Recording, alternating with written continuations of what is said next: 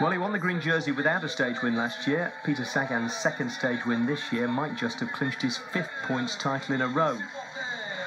Oleg Tinkov's run as Lucis Cannon in cycling is about to come to an end. This time next year, he'll have no reflected glory to bathe in, and he'll be doing this pantomime in front of his bedroom mirror. Peter, congratulations. You started that move with about 12 kilometres to go, and for once, people were working with you instead of sitting on your wheel. So that must have been a, a nice change for you.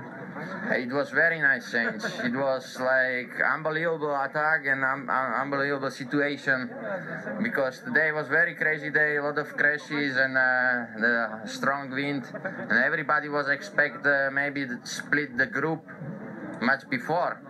But uh, you know, last 12 kilometers was uh, decisive for everybody, and uh, it was like it's happened like from nothing, you know. Like uh, there was always like all the group, uh, all the group, all the group, and then in just one moment, everybody in the line, and okay, we go. and uh, Chris Froome just follow with us, and uh, yeah, we was working together uh, very strong. I am happy for that, and thank you to Maciej Bodnar and uh, Sky team because yeah, they helped me a lot also, and. And uh, you know, in situation like that, uh, Chris Froome was pulling for a GC for the second, and uh, we was pulling, working for uh, the stage victory. And then uh, everybody have uh, own interest, and that was very nice, very good.